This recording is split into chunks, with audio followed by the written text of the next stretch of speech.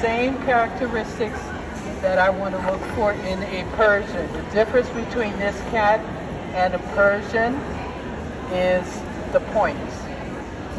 So somewhere along the way, in a land far, far away, a Siamese looked at a Persian and said, hey, you look pretty good.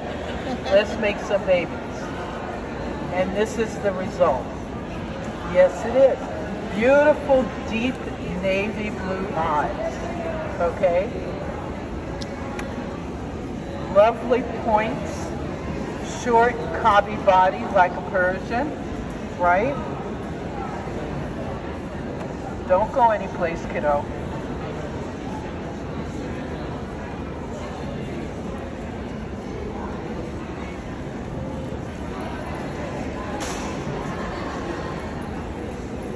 Beautiful doming on this cat.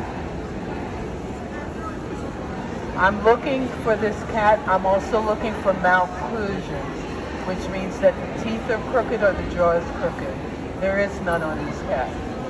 I'm also looking to see that this cat has a nice indentation here.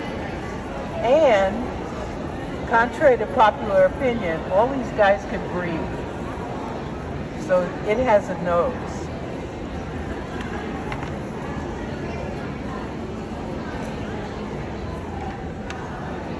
This is my only Hemi.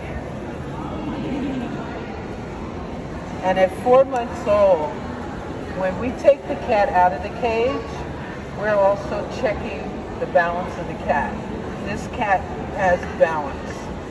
At four months old, this is probably going to be a wonderful, wonderful adult, but I judge it as it is today. And it is my best of breed Himalayan.